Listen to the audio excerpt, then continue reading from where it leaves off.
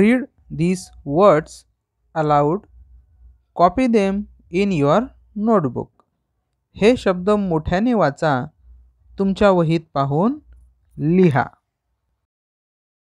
N A M E name C A M E came name came B E be M E me be me.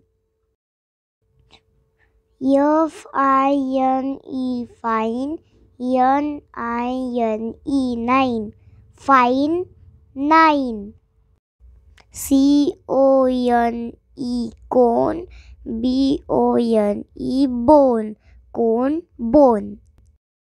T U B E tube C U B E cube.